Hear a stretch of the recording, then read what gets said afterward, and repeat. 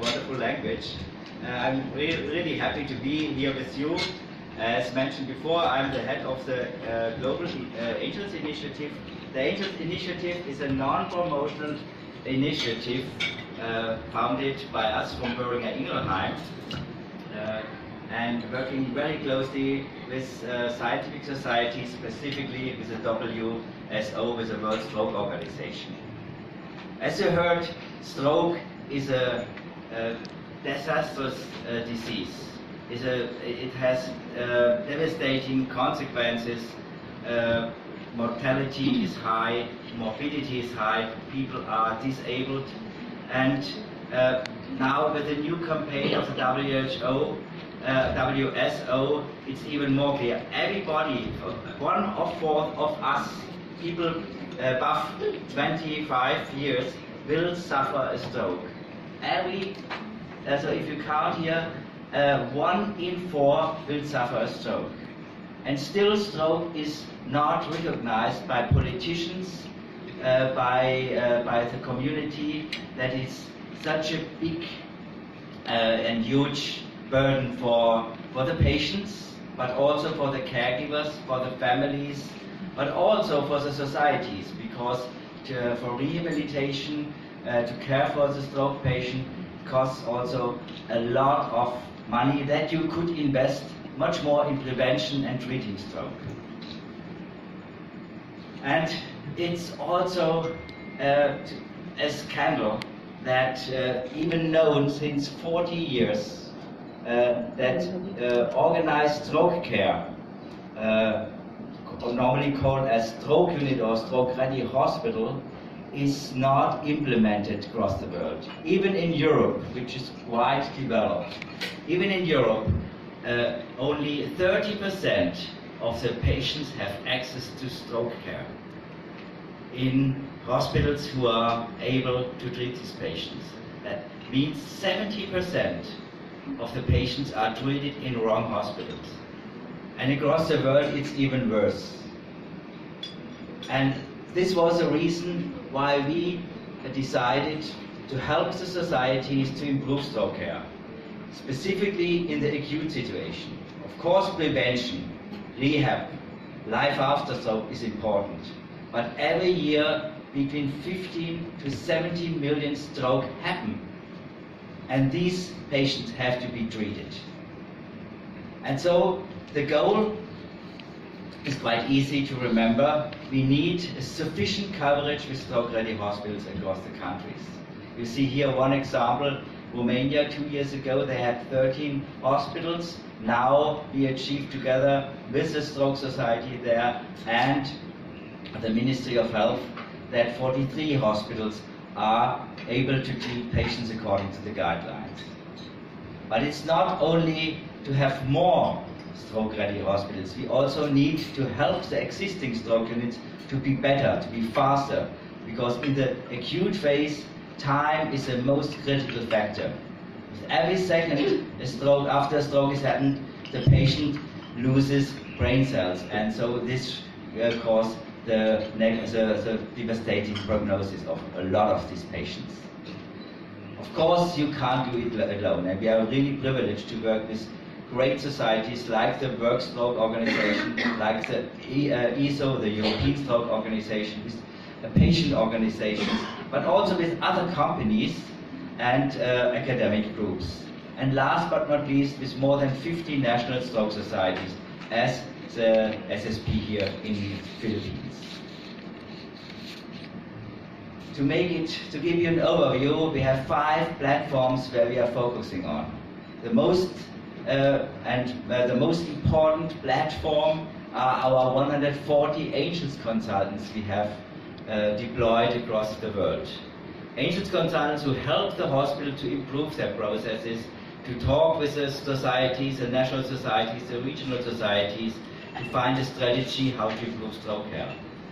To help this work, we have four adding platforms. One is standardization, because you need to, to standardize the processes of the patient to be fast. Education, focused on implementation, community, to create a network of hospitals working together, share best practices, And last but not least, sometimes the most important, to measure what we are doing. And therefore we created, together with the ACER, together with the WSO, also the Angels Award to recognize uh, hospitals who do quality assessment and have good results. What did we achieve so far? We have 25,000 uh, healthcare professionals around the world registered on our webpage from 95 countries. More than 3,300 hospitals are registered. We have more than 150,000 patients in quality registry from more than 1,000 hospitals. And this resulted in Europe, and now we will hear a little bit more uh, later this day about uh, the so-called developing countries uh, outside of Europe. We had 300 award winners at the ESO conference in Europe with 62 diamond winners, which are uh, providing excellent treatment of stroke. Uh, alone in Europe, we helped to set up 140 stroke-ready hospitals. Hospitals who never treated patients before according to the guidelines. So that is really a, a big advantage for these countries.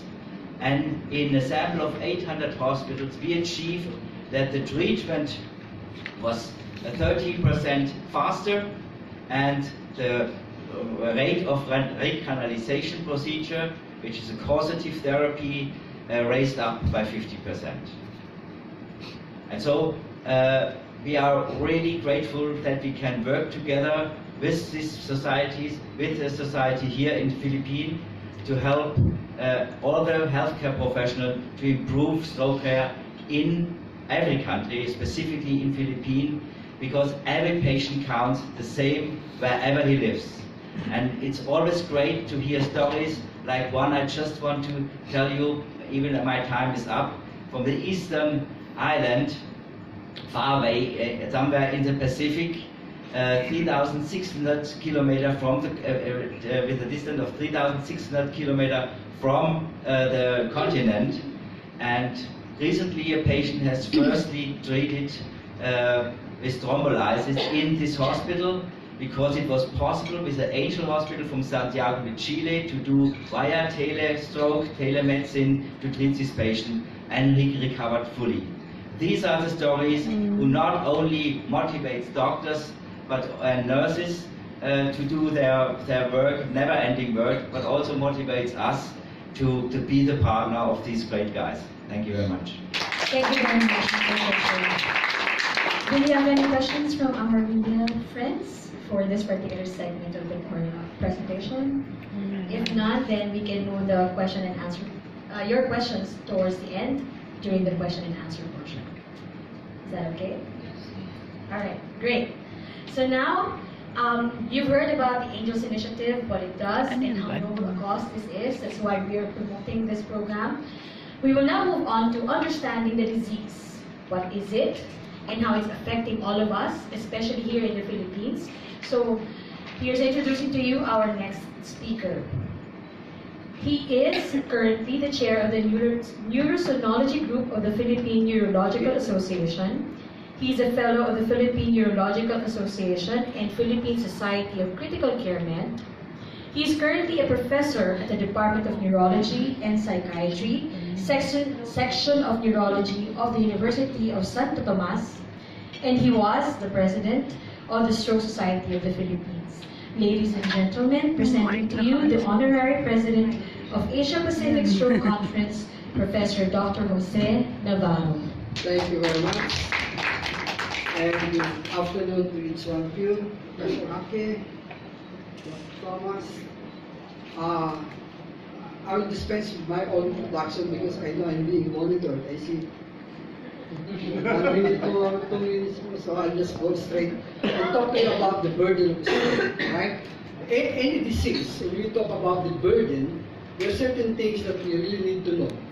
For instance, what we have done and this was published in a very reputable journal, the International Journal of Stroke, which was published in 2014, wherein we have written up the real burden of stroke the Philippines. So basically, these are the things that I'm going to talk to you about this afternoon, and it has been written in this publication. Alright, So when we look at burden of disease, any disease for that matter, we look at several points. Number one, the incidence, which means how many cases at any given time. Let's say, for instance, how many cases in a year will it occur. The second will be the prevalence. How many of these patients who develop the disease are still in the community, being taken care of, taking medicines, instances like stroke, how many of them would recur. And then thirdly is how many would die when they develop the disease. And uh, the fourth will be the DALY and the quality, which means the disability adjusted life years. So let's say, for instance, if you develop the disease, how much years was lost because of the incidence or because of the disease? So in other words, the younger you are when you develop the stroke, the higher will be your die. Can you imagine if you develop a stroke at 40 years and you will live for the next seven, up, up until 70 years? For 30 years, you're bedridden. Okay, so that, that's the, the really the, the burden that we are seeing among patients with stroke. Uh, unfortunately, in our country, the Philippine data is not too much on the incidence, which means how many patients develop stroke in a year, for instance. Well, this is a very, very expensive study. So up until this time, we still could not get any funding for, for this particular study. it's a prospective, as I've said, it's very expensive. It's a long-term study. So which means we, we, we watch one community or one area and then from the time frame that you started looking at them and then wait for how many amongst them in one year will develop stroke. So that's how we would be able to look at the incidence of the new cases of stroke in a year, for instance. All right, so in other words, we could not do that in, in our country. So what we have done is the prevalence. How many of these patients who develop stroke will be in the community, being taken care of by their family, taking the medicines, right? And how many would probably would develop the recurrence of the disease.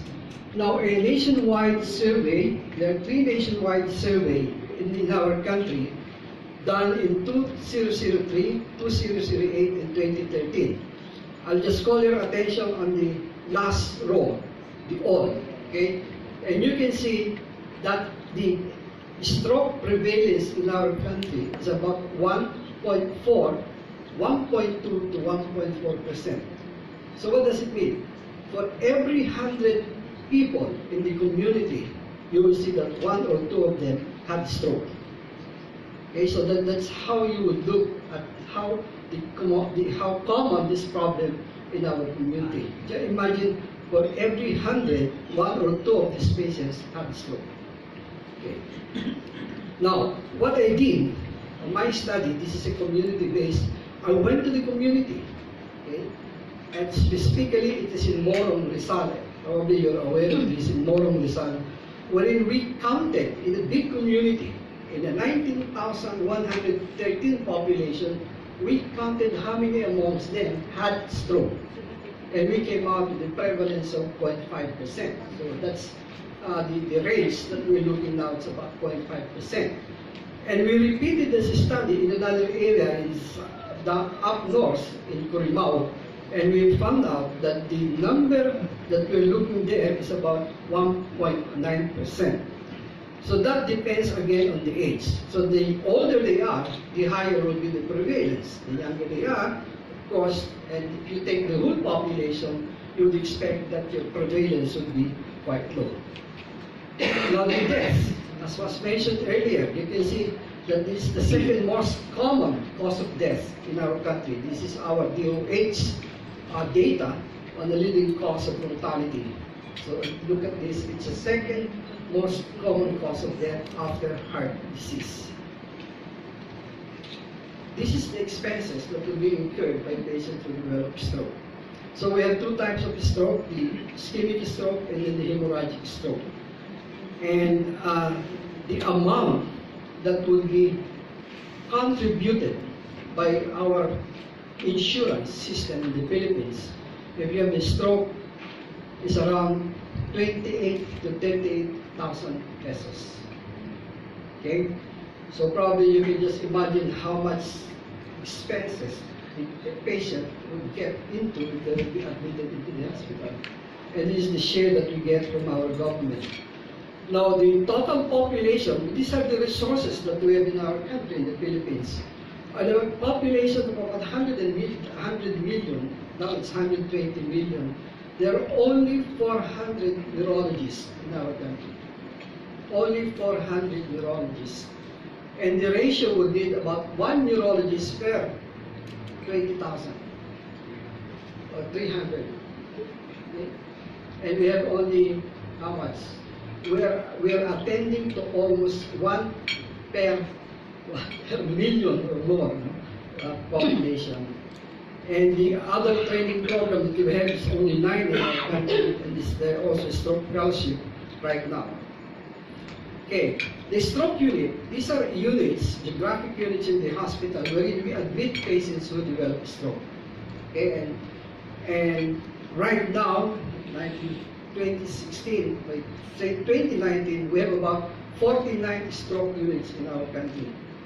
And if we try to calculate following the WSO recommendation on the amount or the number of stroke units in our country, we need about 365 stroke units. And we have only 46 units at, at this time.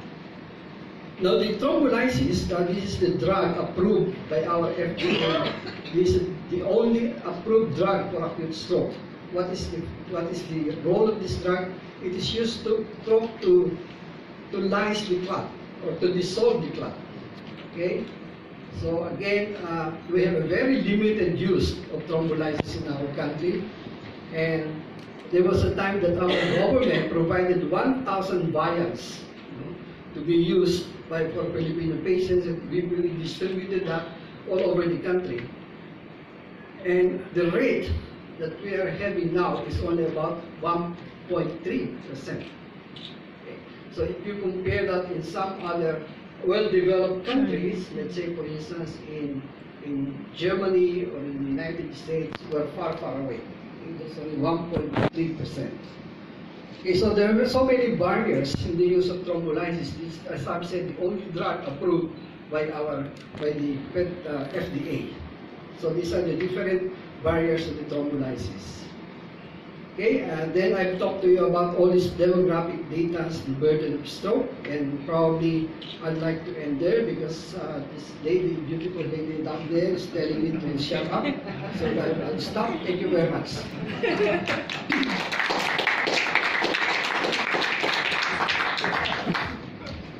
Thank you so much, Professor Dr. Navarro. That was a very insightful presentation, don't you agree? So we now have the data that we need to understand what the disease is and how it impacts the lives of many Filipinos here in our country. So now that you've heard about the Angels Initiative from Mr. Fisher and the impediments that we face with the disease that is stroke from Professor Dr. Navarro. Now we will have our third speaker who will discuss to you the impact of the disease from a global perspective.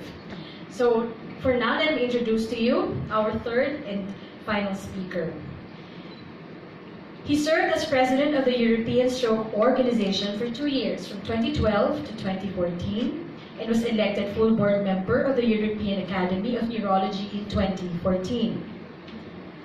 He is a full professor of clinical neurology and director and chair of the Department of Clinical Neurosciences and Prevention at the Danube University in Krems, Austria. He was also the chair and director of the neurological department of the University Hospital Tulln. Significant to note is that he is also a, re a renowned personality for setting up the first stroke unit in Austria in 1997 in the same institution. Ladies and gentlemen, presenting to you our third and final speaker, the current president of World Stroke Organization, Professor Dr. Michael Brainin.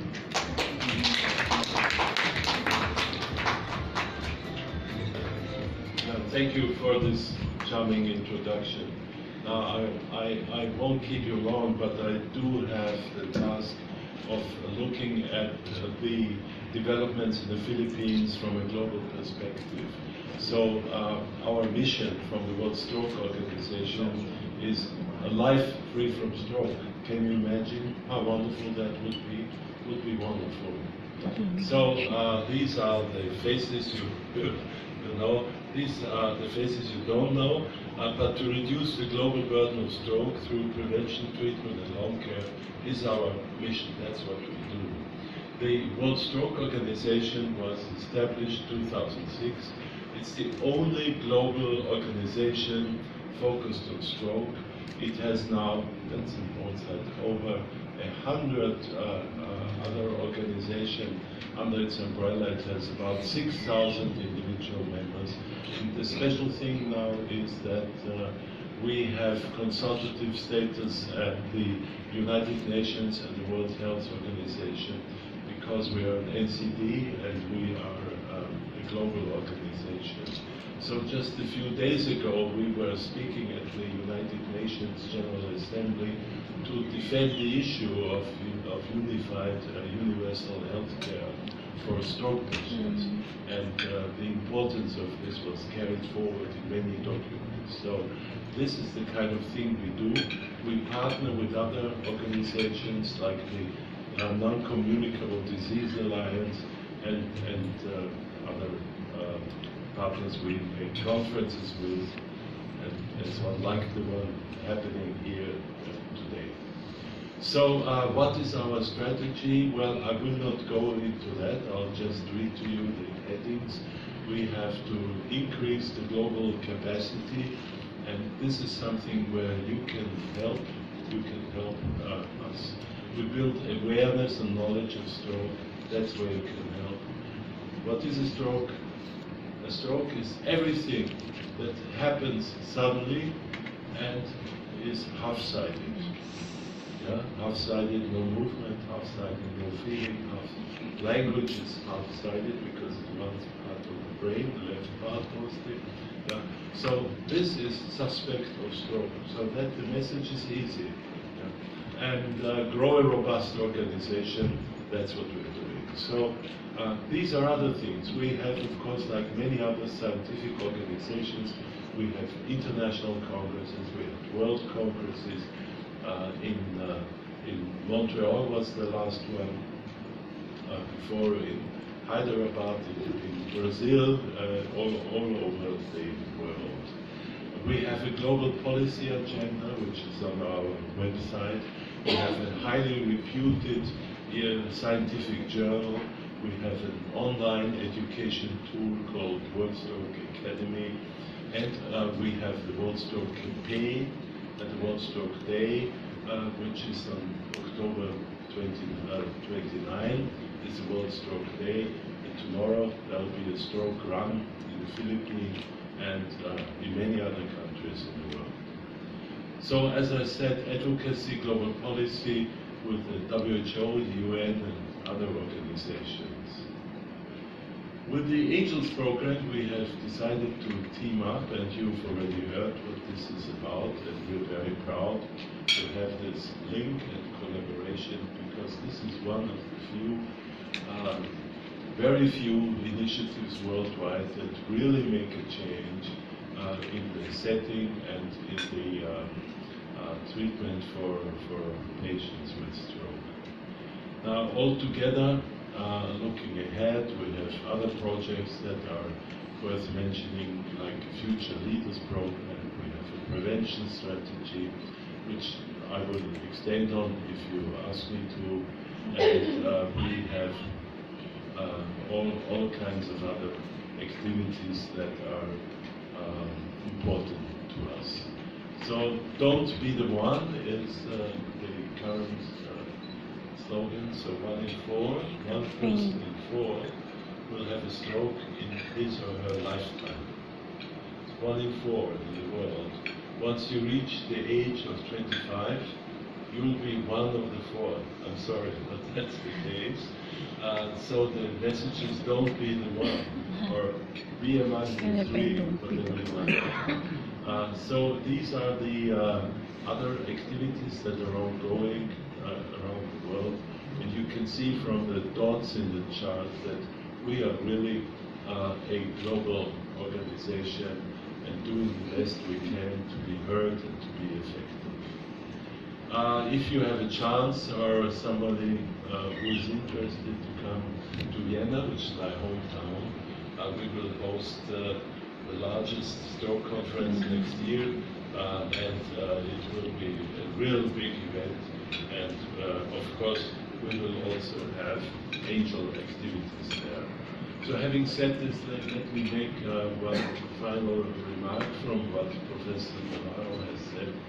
From my perspective, having now been here in the Philippines the third time, I was uh, once uh, in Luzon and once in uh, southern area near Mindanao, uh, and uh, uh, of course Manila. Um, the, the impressive thing about stroke care in Philippines is that it has to cover a region which is extremely difficult. I would say it's maybe more easy, Professor Hakic would it's more easy to do it in Chile, the Andes, you know, to the high mountains. It's probably easier to develop stroke care because it's a continuity, and all- but all high up. But on 4,000 islands or more, it is uh, really a big challenge. So I think apart from the numbers we are talking about, the stroke units and so on, we, we have to think about the geography and the diversity, the ethnicity, all these uh, problems. Uh, and then comes, of course, the very low density of stroke-ready physicians, if I may use the term, uh, people who know what this is about and how to recognize stroke quickly and act accordingly uh, to treat the symptoms inside. So my respects, Professor Navarro, and your society, your team, your work, your, may your lifelong work to alleviate the burden of stroke in the Philippines. And I hope that this day today is also successful in driving the issues here in the Philippines even further. Thank you. Thank you very much. So now